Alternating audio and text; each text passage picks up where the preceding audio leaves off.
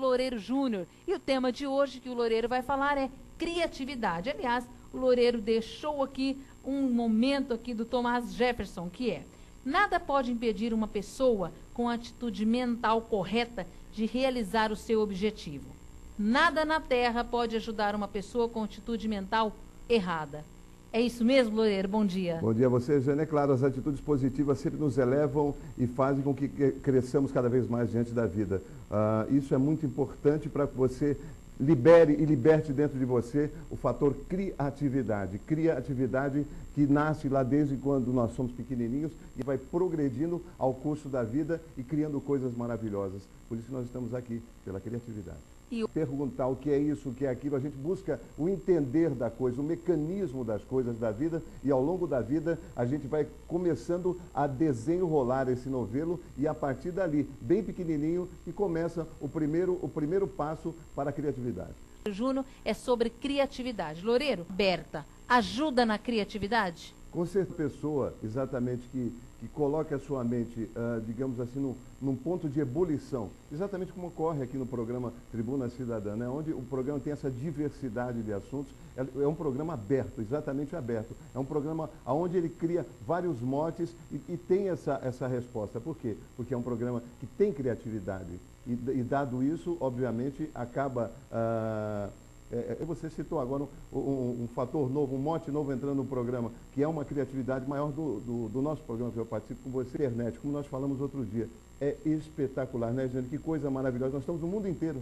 E é com a mente aberta, sempre com as lentes abertas para o mundo. E não... Flexibilidade na, na criatividade. Como é importante você ser flexível. Você cria, mas se você não criar flexibilidade, tudo aquilo que você criou praticamente fica estático. Então você precisa, no seu mote de criatividade, criar a diversidade, né, Jane? Flexibilizando a sua atitude.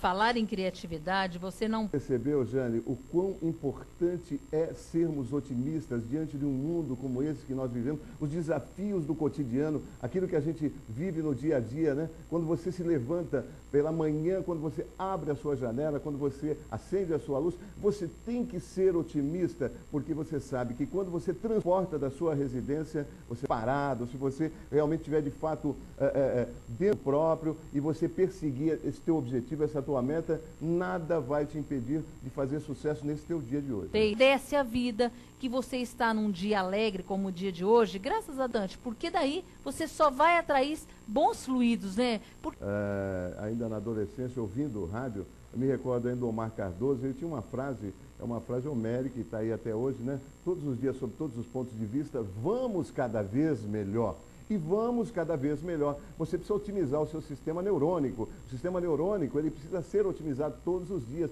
Você tem que acreditar nas suas potencialidades para você poder transferir esse processo energético para outra pessoa, para que a outra pessoa também sinta aquilo que você está sentindo. Mas... E rapidamente você me responde.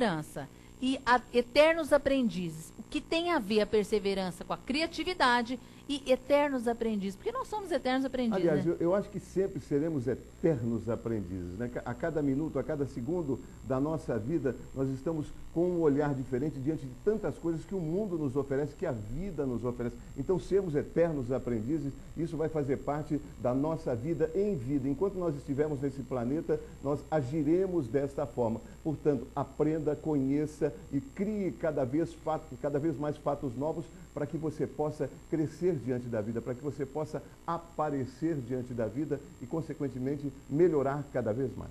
Nunca deixar de lado, né? Jamais. Né? Eu acho que você deve perseverar a cada minuto, a cada segundo. Não perca essa oportunidade. Não deu certo aqui é, é agora. Parta para um outro momento que você vai, você vai ver que vai dar certo. Acredite em você. Você acreditando em você, você vai ver que tudo vai se realizar.